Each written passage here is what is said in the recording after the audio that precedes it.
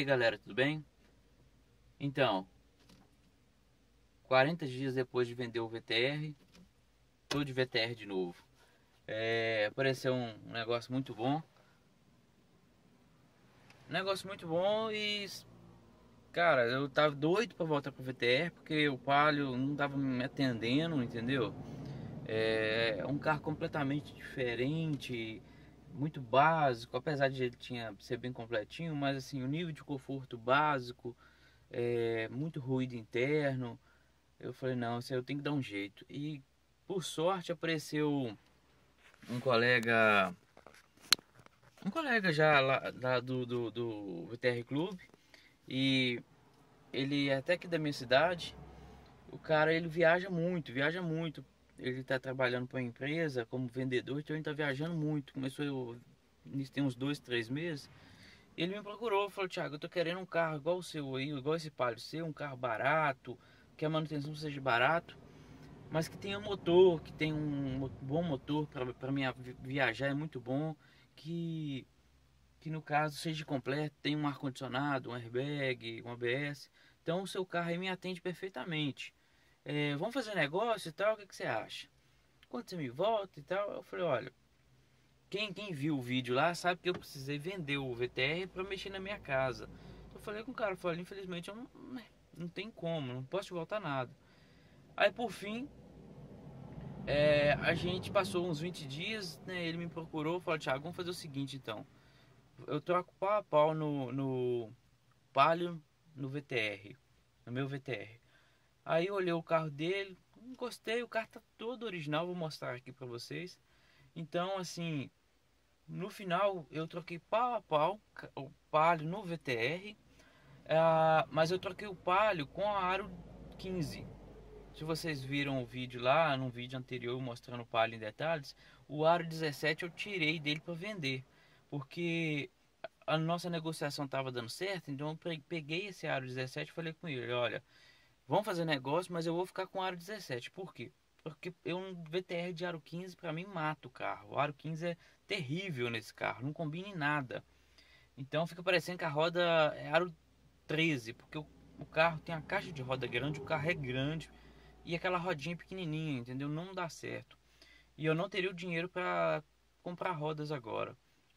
Então, é, foi, foi feito assim, trocamos pau a pau. Além disso, eu fiquei com o aro 17. Já coloquei para vender, vendi ontem essas rodas.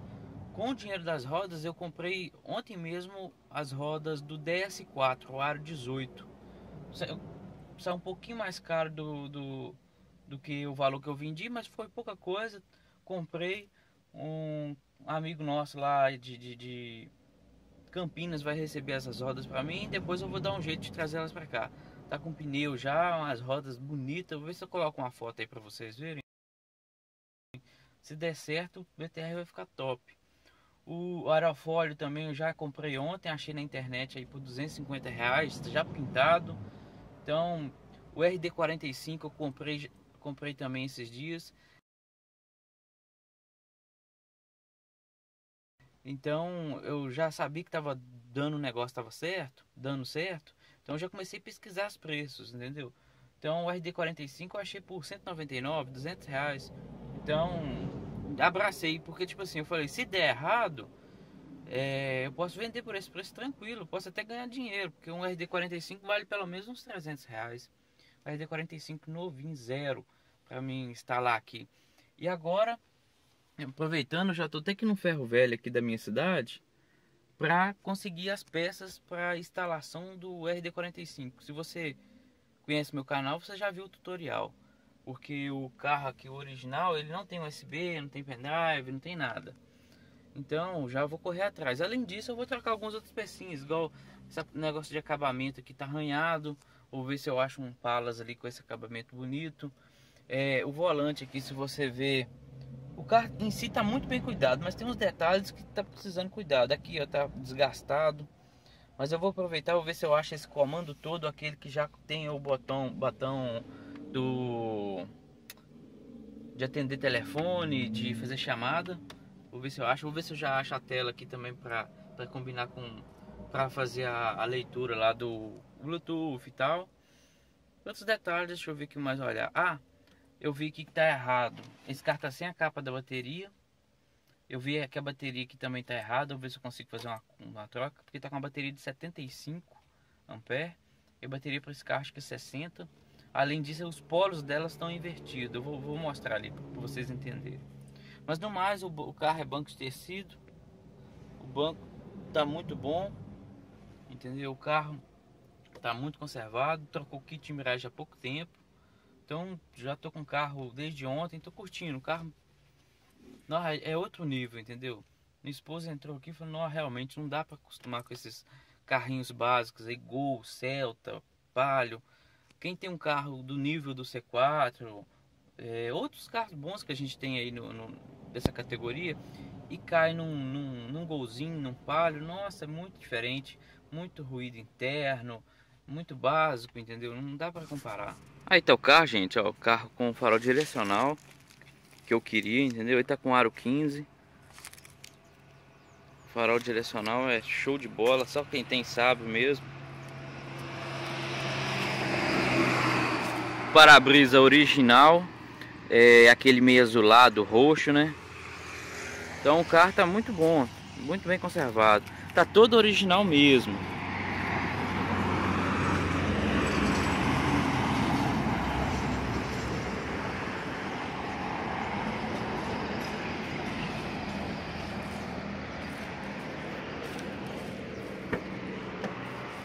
Mandei lavar agora há pouco. Por isso tá com os tapetes, esses. Por isso que tá com jornal, porque o tapete deixei lá. O cara lavou o tapete, não tá lá secando. Aí aproveitando, eu estou aqui no maior ferro velho aqui do leste aqui mesmo. Da minha região aqui, autopeças daqui do carro. Para ver se tem muito carro aqui, deve ter uns 800 carros aqui. Pro lado de lá é, é caminhão, ônibus. Então vou ver se eu consigo achar essas peças. A manopla também eu quero ver se eu acho. É muito difícil achar aquela manopla do VTS. Mas vamos ver lá. Vou abrir o capô aqui para mostrar o carro, o motor. Tá sujo, né? Eu já marquei para semana que vem um polimento no carro todo, um polimento top, uma higienização interna, limpeza dos bancos, lavagem por baixo do carro todo e lavagem completa do motor. Essa parte aqui que tá errada. Porque aqui tem uma... Muito barulho, porque aqui é BR, passa carro toda hora. Mas vamos lá, aqui vai a capa de bateria e os polos da bateria, o certo é elas serem do lado de cá. O negativo e o positivo do lado de cá. Tanto que daqui tá bem esticado, ó. E tá mal preso aqui. Então, vou ver se eu troco essa bateria que é uma de 75. Tá aqui, ó, 75. Vou ver se eu consigo trocar por uma de 60 e vou ver se eu consigo achar essa capa, a capa plástica, que é aqui que fica a abertura, não fica do lado de cá. Então com a capa original, mesmo que eu tenha a capa, eu não consigo usar com essa bateria. Mas no mais, as outras peças estão aqui. Essa peça aqui que é danada para quebrar ali. O meu outro mesmo era quebrado, tá aqui no lugar. É, tem as borrachinhas aqui que o meu também nem tinha mais. Aqui tá caindo, eu vou fazer o, é, no... é normal, eu vou fazer o tutorial lá que eu já ensinei no canal para colocar no lugar. E depois que dá uma higienizada boa, lavar o motor por baixo, fazer o polimento, já vai dar outra cara pro carro. Imagina depois que eu colocar o aro 18, o aro 18 e colocar ah, as molas, um aerofólio, vai ficar top. Em 2007, ó, nunca foi batido, ó, farol 2007. O de lá também, Joleta 2007, dezembro de 2007. Ele é 2007, 2008. Mas eu tava olhando o manual dele, ele foi vendido em agosto de 2009. Então por aí a gente tem noção do tanto que o carro ficava no estoque, né? Praticamente dois anos no estoque da Citroën esperando ser vendido. Então ele é um carro assim que é de 2007, modelo 2008, mas foi vendido em, em agosto de 2009, então Então é isso, galera. Agora eu vou eu vou lá no ferro velho. Se caso eu comprar alguma coisa, achar algumas peças, eu coloco as fotos aí no final e do que, que eu comprei e a gente vai trocando ideia. Ah, outra coisa que eu quero trocar, isso aqui tá bem feio, que a do VTR, aqui tentaram colar do lado de lá. Que a, a do C4 a do C4 Palas e do C4 Hatch não tem isso. Do VTR ele tem tipo uma borracha aqui, ó. E essa borracha, ó, ela sai com muita facilidade depois de um tempo. Então, eu vou ver se eu consigo encontrar pelo menos a do hatch que esteja novinha e encaixar aí.